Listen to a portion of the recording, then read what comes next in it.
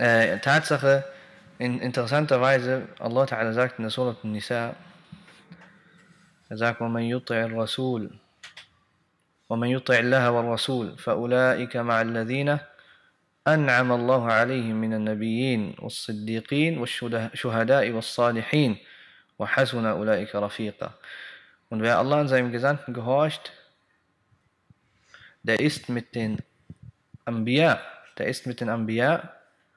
Und dann sagt Allah Ta'ala, As-Siddiqin, wisst ihr, was Siddiqin heißt? Hm?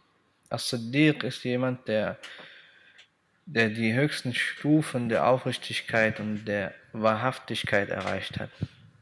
As-Siddiq ist äh, der, dessen Herz, äh, seine Zunge und seine Taten in Einklang stehen zueinander, alle.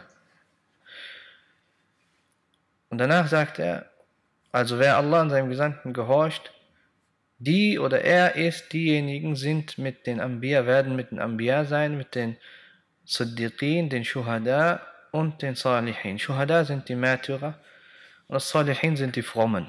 Also haben wir hier vier, vier Stufen. Hm?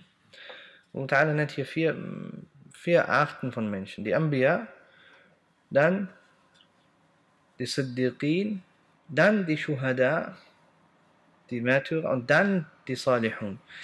Deswegen sagte einer der Mufassirun, diese Aussage ist äh, sehr sinnreich. Er sagte, er sagt, Al-Hayatu fi sabilillah min al-Maut fi sabilillah.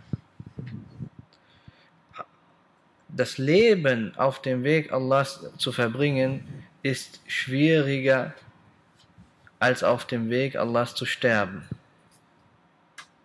Und deswegen nannte Allah Ta'ala hier erstmal die As-Siddiqun, die Ehrlichen, die Wahrhaften, die Aufrichtigen und danach die die Shuhada, die, die Märtyrer.